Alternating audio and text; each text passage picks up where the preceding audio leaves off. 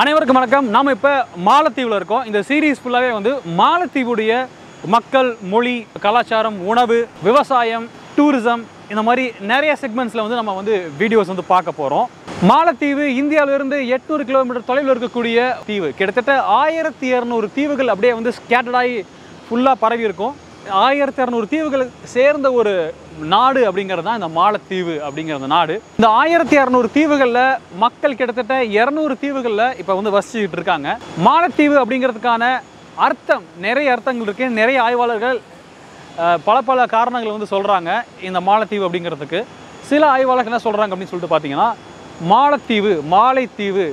நீங்கள் அப்படியே கூகுள் மேப்பில் ஜூம் அவுட் பண்ணி பார்த்தீங்கன்னா தெரியும். அப்படியே ஒரு மாலை மாதிரி இருக்கும். பூ பூவாக பூ பூவாக வச்ச மாதிரி மாலை மாதிரி இருக்கும்.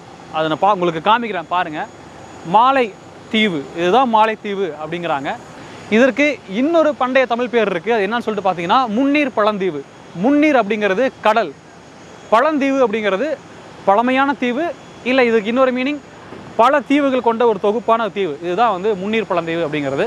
இந்த மாலத்தீவு வேர்ல்ட்ஸ் ஃப்ளாட்டஸ்ட் கண்ட்ரி உலகிலேயே மிக தட்டையான ஒரு நாடு. அப்படின்னா என்ன அர்த்தம்னு சொல்லிட்டு பார்த்தீங்கன்னா இந்த நாடு முழுக்க வந்து நிலப்பரப்பு வந்து அப்படியே சமமாக தான் இருக்கும். எங்கேயுமே வந்து ஒரு மலையோ இல்லை அந்த மாதிரி ஒரு ஹைட்டான ஒரு எலவேஷன் எங்கேயுமே இருக்காது. வெறும் அஞ்சே மீட்டர் தான். அஞ்சு மீட்டர் ஹைட்டு தான் இந்த நாட்டுடைய இருக்கக்கூடிய மிகப்பெரியமான மிகப்பெரிய நிலப்பரப்பு. அதுக்கு மேலே கிடையாது. இந்த நாட்டுடைய மிகப்பெரிய பொருளாதாரம் அப்படிங்கிறது மூணு விஷயத்தை சார்ந்தா இருக்குது.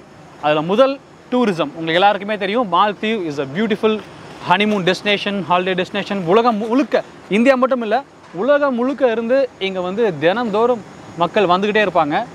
அவங்களுக்கு இந்தியன் மார்க்கெட்டில் ஒரு பெரிய விஷயமே கிடையாது.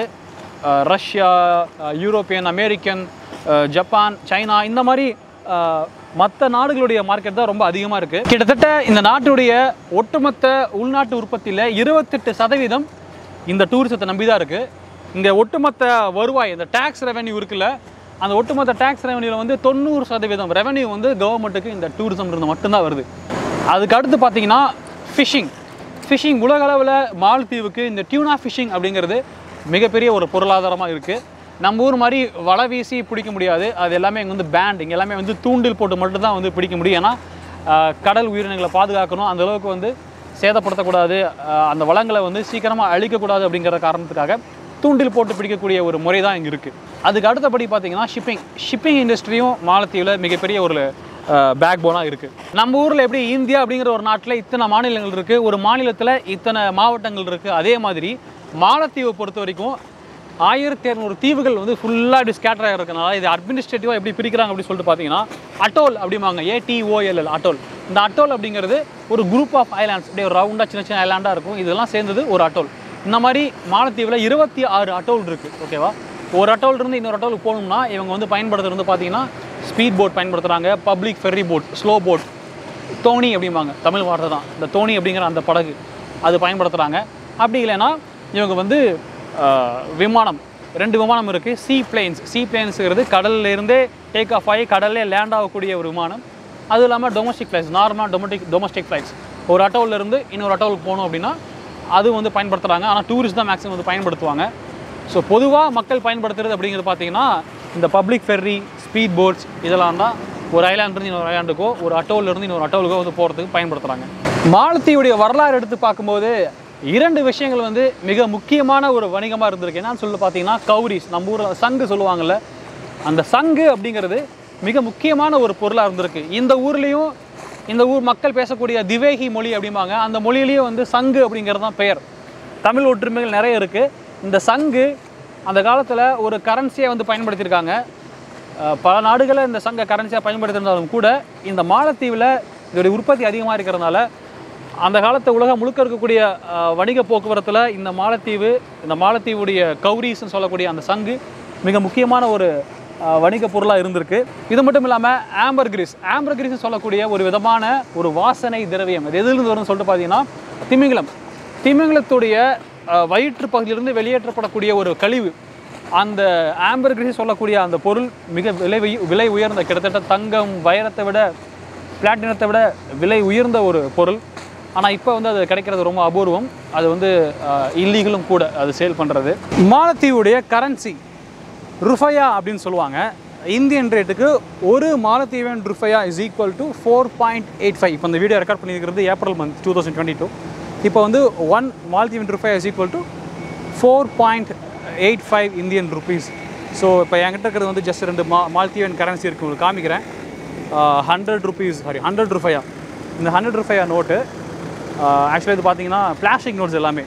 நல்ல ஸ்ட்ராங்காகவே இருக்குது இந்த மால்தீவன் ருஃபையில் வந்து பார்த்தீங்கன்னா இன்ட்ரெஸ்டிங்காக ரெண்டு விஷயம் இருக்குது இது வந்து நூறுரூபா ஹண்ட்ரட் ருஃபை நோட்டில் வந்து பார்த்தீங்கன்னா ஓலைச்சுவடி.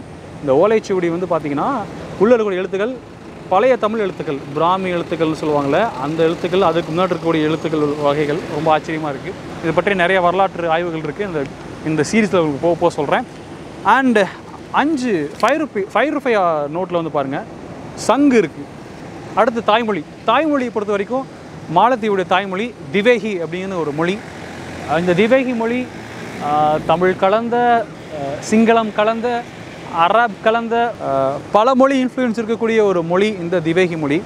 அதிலும் குறிப்பாக நிறைய ஆய்வுகள் இருக்குது இந்த இரண்டாயிரம் வருடங்கள் வரலாறு தான் இப்போதைக்கு இருக்கக்கூடிய வரலாறு இந்த மாலத்தீவு வரலாறுல. ஆனால் அதற்கு முன்னாடியே இருந்து இருந்தே இந்த திவேகி மக்களுக்கு முன்னாடி கிரவாறு மக்கள் ஒரு மக்கள் இருந்திருக்காங்க. அந்த மக்கள் தமிழ் மற்றும் தமிழ் சார்ந்த சில மொழிகளை வந்து பேசிகிட்டு இருந்திருந்தாங்க அப்படிங்கிறதுக்கான ஒரு ஆய்வுகள் இருக்குது இதை பற்றி சில வீடியோஸ் வந்து போடுவேன் இந்த சீரீஸில் பாருங்கள் கடந்த சில ஆண்டுகளுக்கு முன்னாடி ஆயிரத்தி தொள்ளாயிரத்தி எழுபதுகளில் நாசா உட்பட பல ஆய்வு நிறுவனங்கள் என்ன சொன்னாங்கன்னா இன்னொரு ஐம்பது வருஷத்தில் அதாவது ஆயிரத்தி தொள்ளாயிரத்தி எழுபதில் இருக்கிறப்ப சொன்னாங்க இன்னொரு ஐம்பது வருஷத்தில் இந்த மாலத்தீவுங்கிற ஒரு நகரமே வந்து முழுகி போயிடும் இந்த இந்த நாடே வந்து முழுகி போயிடும் நிறைய தீவுகள் முழுகி போயிடும் மக்கள் வாழ முடியாத ஒரு தீவாக மாறிடும்னு சொன்னாங்க.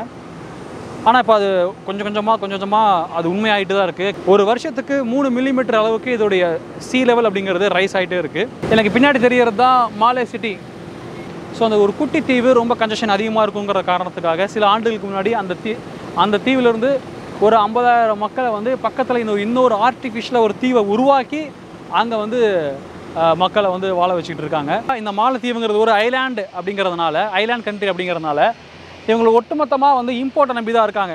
அது வந்து உணவு இல்லை அவங்களுக்கு தேவையான அந்த கட்டமைப்பு வசதிகள் எல்லாமே வந்து இந்தியா போன்ற நாடுகள் நம்பி தான் இருக்காங்க. அதுவும் குறிப்பாக இந்தியாவை பொறுத்த வரைக்கும் தூத்துக்குடி துறைமுகம் அப்படிங்கிறது மிக முக்கியமான துறைமுகமாக இந்த மாலத்தீவுடைய கேபிட்டல் மாலே சிட்டிக்கு தெரியுது பார்த்தீங்களா அந்த மாலே சிட்டிக்கான முக்கியமான துறைமுகமாக வந்து தூத்துக்குடி துறைமுகம் இருக்குது தினம்தோறும் தூத்துக்குடியிலிருந்து பல கப்பல்கள் இவர்களுடைய உணவு தேவைக்கு அது வந்து மளிகை பொருட்களாக இருக்கட்டும் இல்லை வந்து விவசாயம் சார்ந்த காய்கறிகள் பழங்களாக இருக்கட்டும் அண்ட் இண்டஸ்ட்ரி சப்ளைஸாக இருக்கட்டும் எல்லாருக்குமே வந்து சப்போர்ட் பண்ணுறதுக்கான மிக முக்கியமான துறைமுகமாக தூத்துக்குடி துறைமுகம் இருக்குது அடுத்தடுத்து வரக்கூடிய எபிசோட்ஸில் மால்தீவ்ஸை பற்றி ரொம்பவே இன்ட்ரெஸ்டிங்கான ஸ்டோரிஸ் வரப்போகுது. ஸோ சப்போர்ட் பண்ணுங்கள் அடுத்த வீடியோவில் சந்திக்கிறேன்.